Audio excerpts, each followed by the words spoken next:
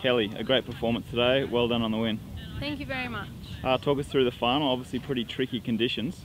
Yeah, yeah, I was just pretty relaxed. Um, there was a bit of a wind and everything. Light wasn't the greatest, um, but yeah, just did my best and um, came out on top, fortunately. And you are you had a very solid middle part of the final, and that probably helped you get the, the end result. It did, yeah. I mean, I, I managed to keep my focus. Um, as I said, stay relaxed was the biggest thing. Um, but yeah, that was pretty much it.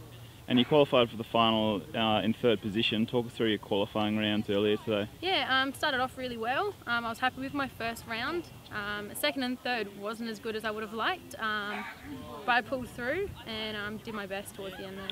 And you got named in the World Champs team a couple of weeks ago. You must be looking forward to Serbia. Yeah, that should be great. Uh, a lot of hard training um, before then, obviously, but looking forward to the trip for sure.